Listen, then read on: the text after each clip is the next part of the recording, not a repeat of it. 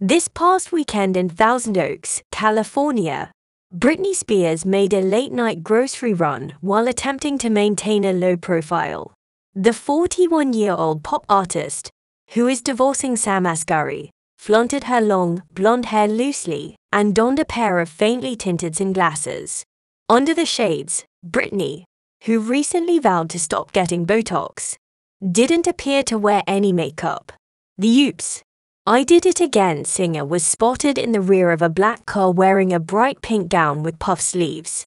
She was seen with security, a tall, mysterious man with dark hair who resembled a man she was seen with earlier this week.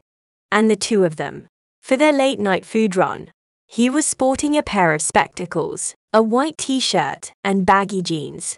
It happens at the same time that TMZ claimed the hitmaker had hired two new staff members to work at her Los Angeles area home. The newspaper reported that the musician, who has been getting close to a former maid, has hired a staff member with a background in medicine. The broad range of responsibilities that individual is purportedly responsible for include things like making sure the Grammy candidate takes her medication and stays healthy. According to the source, Spears manager Cade Hudson and attorney Matthew Rosengart are both concerned about keeping her busy.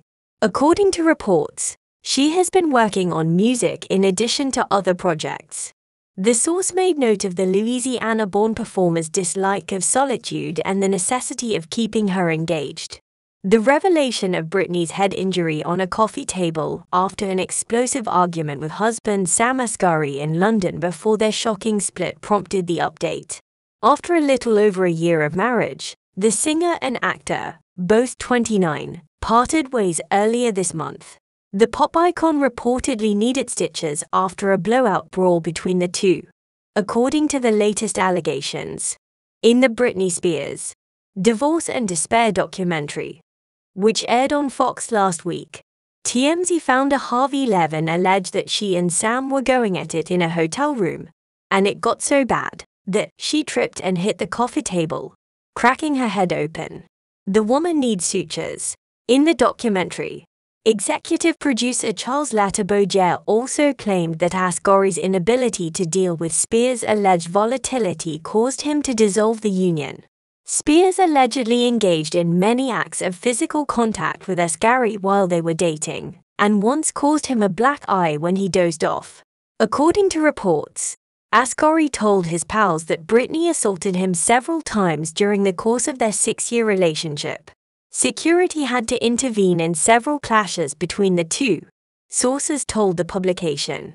In one particular incident, the model was reportedly left speechless when his ex wife began beating him while he was in their bed.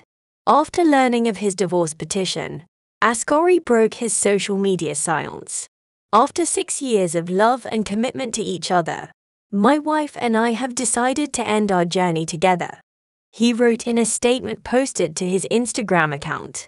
We will continue to cherish our love and respect for one another and I always wish her the best, he said, adding, S asterisk asterisk D happens. Asking for privacy seems absurd. So I'll just ask that everyone, including the media, be considerate and nice.